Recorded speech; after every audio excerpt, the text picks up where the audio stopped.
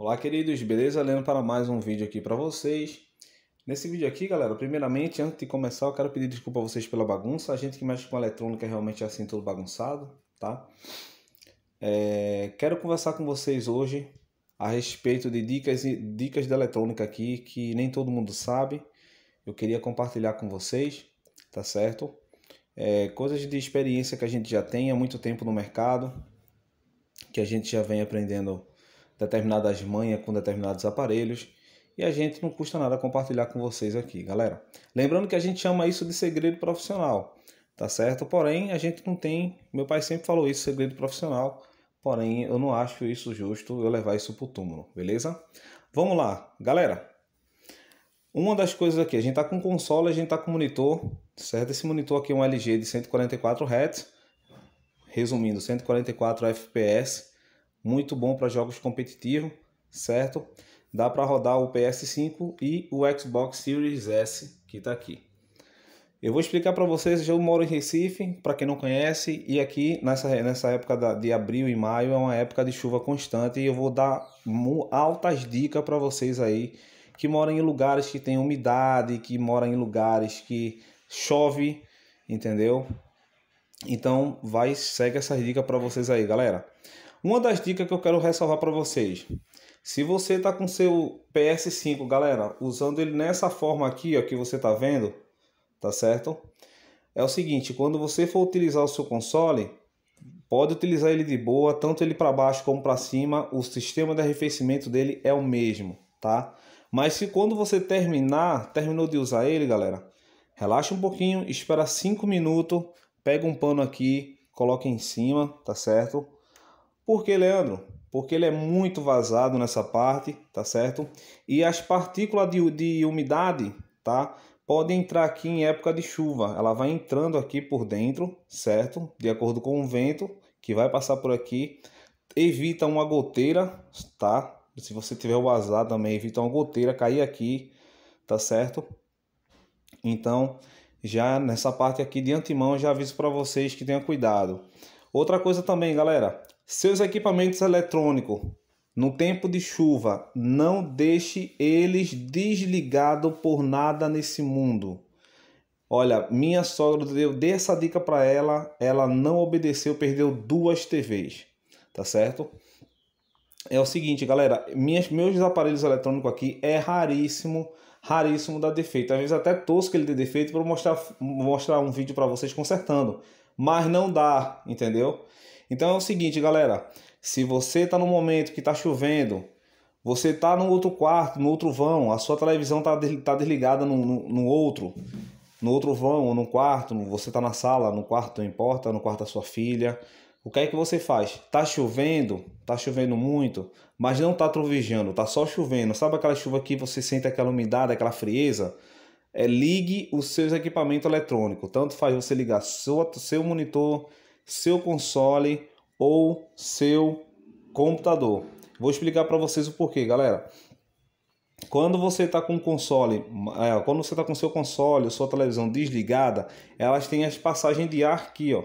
Tanto ela, monitor, computa é, computador também, certo? Mas computador, como vocês sabem, é mais protegido, né? Dependendo do gabinete.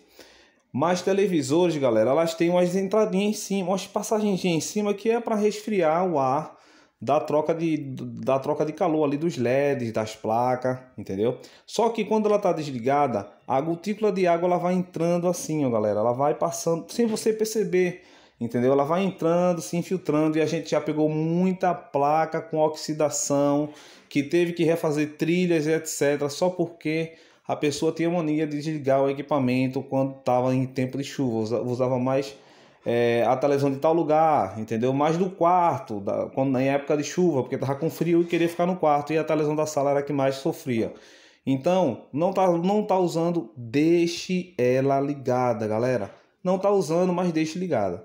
Pode ficar tranquilo que ela vai começar a aquecer, então quando ficar aquela umidadezinha voando no ar, entendeu? Que você vê que até no seu carro, quando você passa o dedo, você, você vem, vem a água no seu dedo, a mesma coisa que acontece no seu carro acontece em equipamentos eletrônicos também. E isso causa oxidação na placa, perca de componentes eletrônicos e ferrugem. E às vezes é irrecuperável a placa. Outra dica também. Se você vai ligar o seu videogame, ligue ele sempre com filtro de proteção, filtro de linha, possivelmente os mais caros. Se você for ver aqui na minha instalação, é meia gambiarra, assim, tem várias tomadas aqui porque eu preciso para trabalho. Mas se vocês forem parar para ver aqui, olha, tudo que eu, que eu utilizo é com filtro de linha, independente de, de, de, de que a gente tem aqui fonte autoscilante, certo? Fonte bivolts, né? A gente chama de autoscilante. Tá aqui, ó, tudo em filtro de linha. Console tá ligado aqui, ó, filtro de linha. Xbox aqui, ó, tá ligado no filtro de linha, tá? Filtro de linha, quanto mais caro, melhor é, tá? Para questão de surto de corrente. Outra dica especial, galera, para que vocês não queimem o CI tanto do seu PlayStation como da sua placa. Vamos supor que isso aqui é uma TV, como também do seu Xbox Series S, o Series X, tanto faz. Ele tem um CI eletrônico, galera, dentro dele que a gente chama de CI de vídeo. Ele é da, geralmente da, da, do PlayStation é Panasonic. O que é que ocorre, galera? Quando vocês ver é, quando você está colocando o seu console com sua televisão ligada, não faça de forma alguma esse tipo de procedimento. Vou dar um exemplo. A sua televisão está ligada, você vem aqui no seu cabo de vídeo, aqui ó, tira e coloca. Não faça isso. Leandro, como é que eu faço? Dou essa dica aqui para vocês, galera. Segue esse passo aqui, ó. Seu filtro de linha está aqui. Desliga ele da tomada. Você não levou o seu console para outro lugar? Exemplo, sala, alguma coisa? Desligue tudo, deixe sua TV. Vamos supor que isso aqui é uma TV. Sua TV e seu console desligado da tomada. Por que, Leandro? Porque na saída de na saída HDMI existe o famoso 5 volts, tá, galera? E às vezes, quando você vai encaixar o cabo no lugar aqui, ó, o cabo, ele tem várias perninhas, e a gente chama de trilha, várias trilhas, uma junto da outra. E em vez dele se encaixar perfeito na, na, na trilha de 5 volts, ele vai encaixar numa trilha errada, dá um retorno, queima o CI aqui e tem risco de queimar a placa aqui para também funcionar a saída ou entrada HDMI. Então, galera, como é que se faz, Leandro?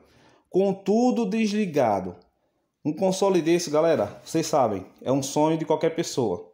É caro, então tem que zelar. A mesma coisa eu digo para esse console. É um console caro. Tá ficando barato, beleza, mas é um console que ainda tem muita gente que queria ter, tá certo? Então, galera, use com forma de cautela. A gente tá passando para vocês aqui, galera, porque a gente tem conhecimento de eletrônica, entendeu? Por isso que tem o nome informática aí, mas eu conheço muito bem eletrônica. Então, vai conectar o seu console na sua TV, por favor, desligue sua televisão, desligue de preferência na tomada, tá? Porque ela pode estar tá gerando ali os 5 volts, tá certo? Porque tem umas placas que fica gerando, tem outras que não, mesmo desligada, no modo standby.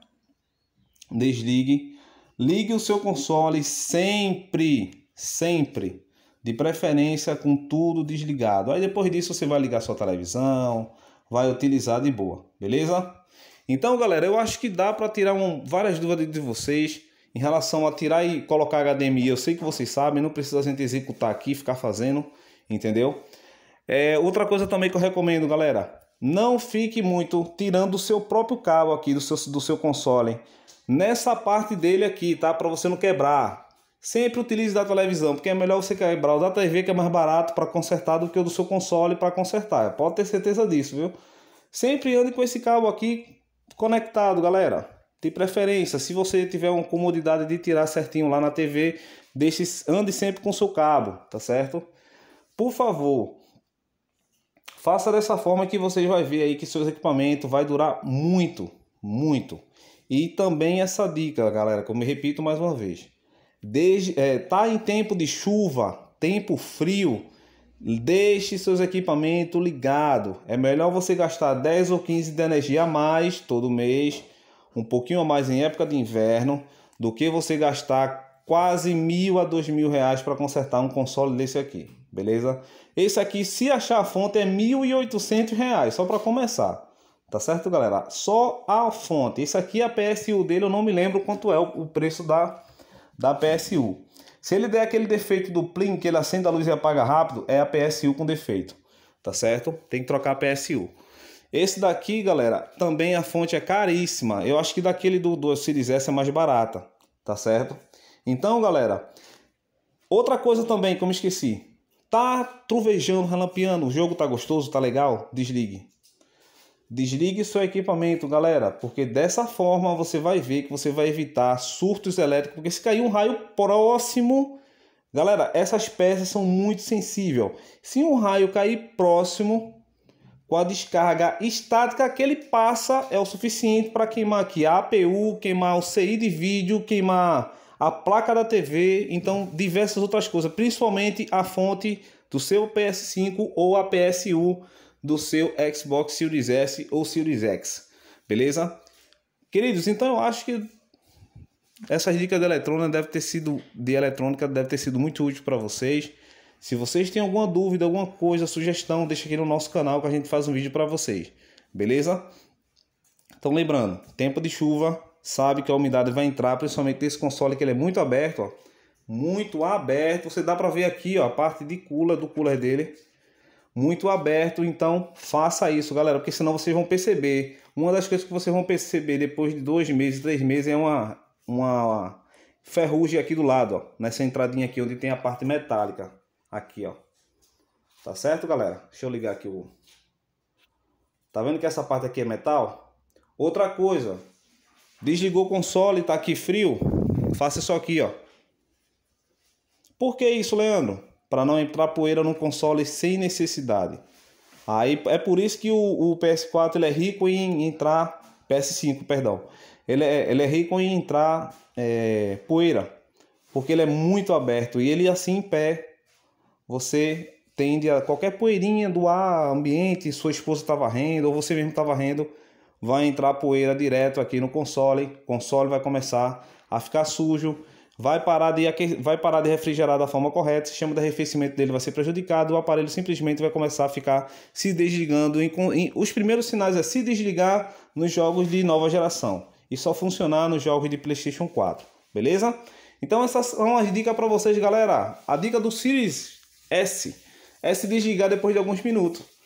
Meia hora, 15 minutos no máximo, tá ligado ali, ele puf, desligou, superaquecimento. Também pasta térmica, tá certo, galera? Um ano de uso do seu Xbox, troque a pasta térmica, beleza? Eu fiz um vídeo para vocês com ele desmontado e mostrei o resultado da pasta, da pasta térmica desse aparelhinho aqui, ó.